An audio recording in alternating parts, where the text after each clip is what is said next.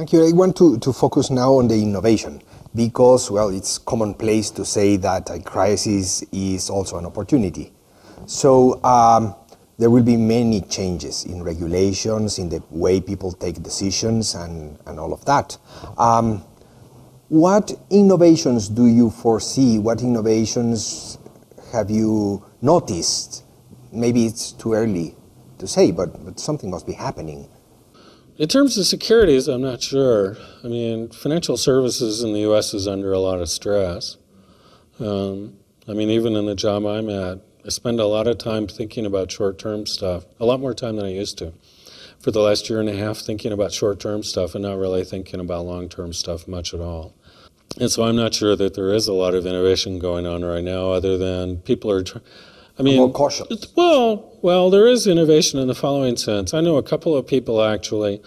See, one of the things was when they valued these collateralized debt obligations and people decided how much to buy or sell them for, they didn't look at the underlying mortgages. What they did was is they looked at aggregate statistics about the mortgages, like the credit, average credit rating of the people. They looked at um, statistics about the percent that they put down initially. And they just looked at these aggregate statistics, and these things were priced on the basis of those pure and simple. Um, I met someone who actually developed a very complex model to look at the underlying mortgages and then figure out what the price of the security should be, given the underlying mortgages. And he couldn't sell it to anyone because nobody cared. Um, on the other hand, I also know some other people that's all they're doing now.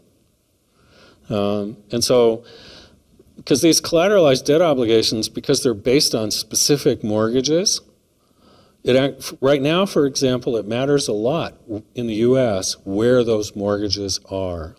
Like if they're in the suburbs of Southern California, those are not good mortgages. If they're in Las Vegas or Phoenix or Florida, those are problematic too. If they're in Atlanta, they're not so bad. If they're in Omaha, Nebraska, that's even better.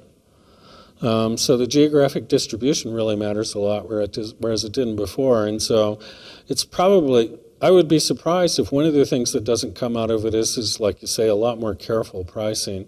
And people are going to spend more time evaluating the characteristics of the underlying securities and mortgages. You, you mentioned that the location is important. Does that mean also globally? Of course, I, I bet that uh, a country is different from another country if the banks mm-hmm. have assets or, or investments or mortgages. Well, and there are different problems. I mean, one of the things that, that people are thinking about right now, I find this weird coming from the United States. I don't know if it's weird in Guatemala or not. Is is in Poland, more than half of the mortgages in Poland, they use their own currency. The, I, am not going to try to say it because I'll say it wrong. Um, but they have their own currency. Polish currency. Yeah, Polish currency. And but most of the mortgages are priced in euros or Swiss francs. And so when the value of their currency fell a lot relative to the value of the euro, all of a sudden in the currency these people earn money in, their mortgage payment just went up a lot. Um, and in the U.S., everybody gets a mortgage in U.S. dollars. And I, I assume in Guatemala, most people get mortgages in quetzales and not in U.S. dollars or something. Both. So, so people who has mortgages in, in dollars have seen their debt rising, rising a lot in terms of quetzales. Right. So it's pretty much the same in, as in Poland, I guess. Hmm. That's interesting.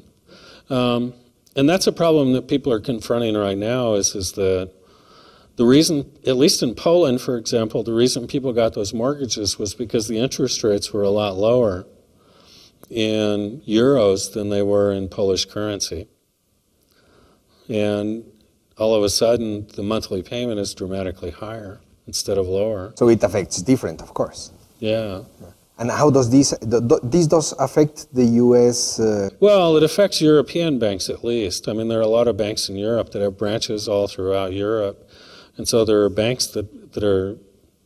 I, I don't remember exactly where the banks are originally from, but there are banks that are headquartered in other countries in Europe that have branches in Poland that have made these kinds of loans. And then the question is when these loans, what is default going to mean? how is that going to affect the bank, actually? Um, and so it's further difficulties down the road. I bet. Well, thank you very much for sharing these ideas with us. Thank you. And uh, thank you to